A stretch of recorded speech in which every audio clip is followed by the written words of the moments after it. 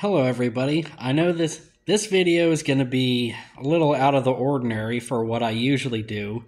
It's definitely going to be a longer video, a much longer video than what I usually put out. But I keep feeling led by the Holy Spirit to do an overview of Romans chapter 2. Pretty much, I'm just going to read Romans chapter 2. The Holy Spirit's going to speak through me, work in and through me. And I'm praying that the Holy Spirit gets this video to the right person at the right time. So, Romans chapter 2, starting verse 1. You therefore have no excuse, you who pass judgment on someone else, for at whatever point you judge another, you are condemning yourself, because you who pass judgment do the same things. That verse reminded me of another verse that's in the Bible. Why do you worry about the speck in your brother's eye when you have a plank in yours? There's a stereotype about Christians, about how Christians are not supposed to be judgmental or we're not supposed to judge. That is incorrect. Christians can judge, but but you need to consider if you are a Christian and you are going to judge, there is a right way and a wrong way to go about it. This first verse, lining up with another verse in the Bible, basically says if you are going to judge, do not be a hypocrite about it. You can't just say, hey, that's a sin. You need to repent. You're going to hell. You can't just say that. Basically, pull the person aside and say, hey, what you're doing is wrong. Basically, pull the person aside. Don't be a jerk about it. Don't make a big scene about it. Verse 2 Now we know that God's judgment against those who do such things is based on truth. So when you, a mere human, a mere human being, pass judgment on them and you do the same things, you do do you think that you will escape God's judgment? Or do you show contempt for the riches of his kindness, forbearance, and patience, not realizing that God's kindness is intended to lead you to repentance? Something that I'm sure a lot of other Christians will say the same thing. There are a lot of times where God's working in my life and I do not understand what's happening at the moment. And then at some point later on in the future, I'm like, I'm looking back thinking, oh, okay, God, so that's why that had to happen. Thank you. Verse 5 But because your stubbornness and your unrepentant heart, you are storing up wrath against yourself for the day of God's wrath, when his, ju- when his righteous judgment will be revealed. God will repay each person according to what they have done. To those who, by persistence in doing good, seek glory, honor, and immortality, he will give eternal life. You also need to consider that you shouldn't do good things in your own strength. There's a misconception out there that if you're just a good person alone, you're going to heaven. Imagine this analogy imagine you live down the road from somebody who's rich. They got everything that the world says you could ever want more money than they know what to do with, big house, three car garage, a boat, a pool, white picket fence, the American dream, all that and more, all, everything that the world says they need. But you and that person don't know each other. But you decide to go down the road and knock on their door anyway. When they answer the door, you end up saying, Hey, I'm moving in here just because I'm a good person. How do you think that's going to go? It's the same concept with Jesus Christ. If you think you can get into heaven just by being a good person alone and want nothing to do with Jesus Christ, while you're being a good person, doing things in your own strength instead of allowing God to help you out through His Holy Spirit, how do you think that's going to go? So, where was I? Verse 6 But for those who are self seeking and who reject the truth and follow evil, there will be wrath and anger. There will be trouble and distress for every human being who does evil. First for the Jew, then for the Gentile. But glory and honor and peace for everyone who does good. First for the Jew, then for the Gentile. For God does not show favoritism. That goes back to a point I was making earlier. A lot of times, things happen, you don't understand why they're happening, but God never allows anything to happen without a reason.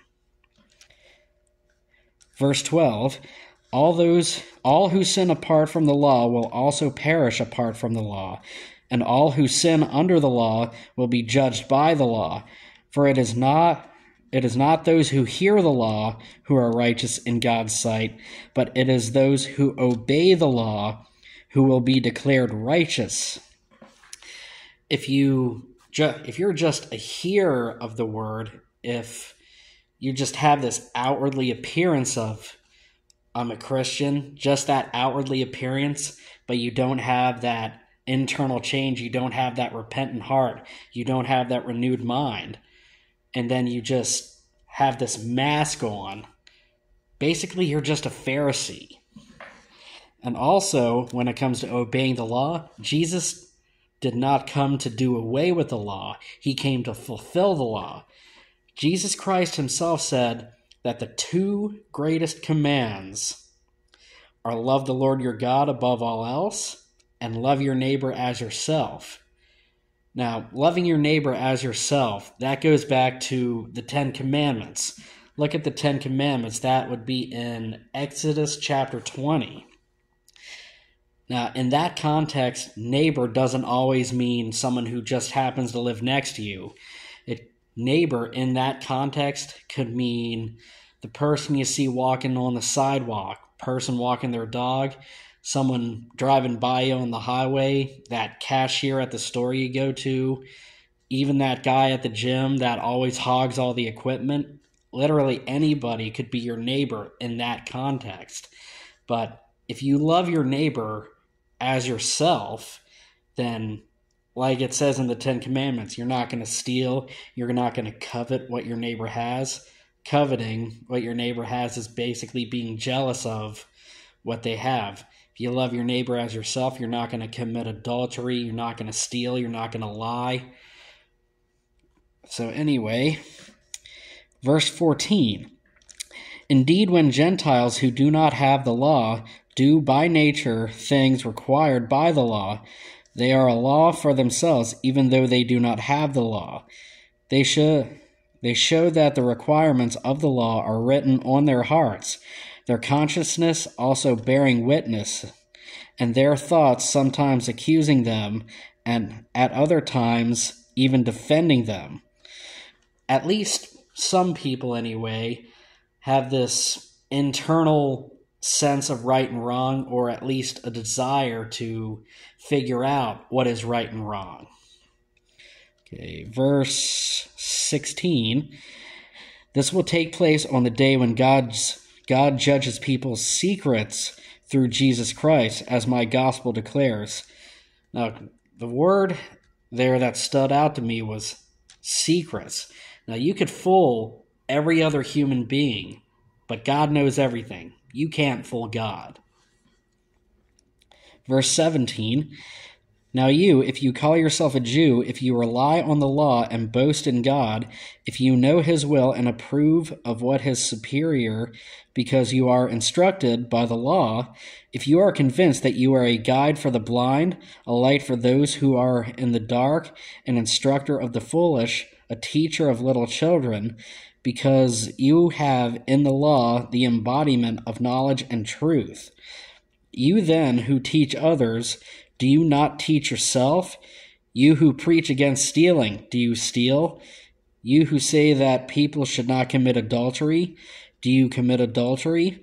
You who abhor idols, do you rob temples? You who boast in the law, do you dishonor God by breaking the law? As it is written, God's name is blasphemed among Gentiles because of you. Now, that goes back to verse 1 of the same chapter, the point I was talking about earlier. basically, if you say or try to act like you're this, you're a Christian, but you're living for the world, people will notice that. People will notice that hypocrisy if that's what you're doing. And I'm sure there's a lot of people out there in the world that have turned away from Jesus Christ or wanted nothing to do with Jesus Christ from the get go because they see people who claim to be Christian but then live however they want. And Jesus Christ himself has repeatedly throughout Scripture spoke against Pharisees and people who claim to be Christian but live however they want. They may as well be Pharisees. I don't want to show the label in case there's some copyright ban. But anyway, this is a Fit Aid. Basically, it's a drink that's really good for muscle recovery after a workout. I'm still at the gym right now. Okay, where was I? Verse 25 Circumcision has value if you observe the law, but if you break the law, you have become as though you had not been circumcised. So then, if those who are not circumcised keep the law's requirements, will they not be regarded as though they were circumcised? The one who is not circumcised physically and yet obeys the law will condemn you, even though you have the written code and circumcision are a lawbreaker. A person who is not a Jew is the only one outwardly, nor is circumcision merely outward and physical. No, a person is a Jew who is one inwardly, and circumcision is circumcision of the heart, by the Spirit, the Holy Spirit, not by the written code. Such a person's such a person's praise is not from other people, but from God. And that can be a trick that can be tricky business getting into that. See, if you're trying to win the approval of human beings alone while not for while forsaking the approval of God the creator, then basically that's another way of being a Pharisee, trying to do things in your own own strength, only having that outward appearance, that mask, but being dead in spirit inside. See, we need to have a repentant heart, a renewed heart, and a renewed mind. We can't have one or the other. If we have a renewed heart or a renewed mind, but one is focused on the world. One's going to be focused on the world, the other is going to be focused on God, and that's going to tear you apart spiritually, maybe to a certain degree in the natural, in the world. I once heard Bill Johnson say that the renewed heart is like a river of living water that is provided by Jesus Christ but it's the renewed mind that is like the banks of the river, guiding where that river goes. So, anyway, that's going to do it for this video. I don't know if I'm going to do any videos like this again. If I do, I don't know at what frequency, but I'm praying that the Holy Spirit gets this video to the right person at the right time. God bless.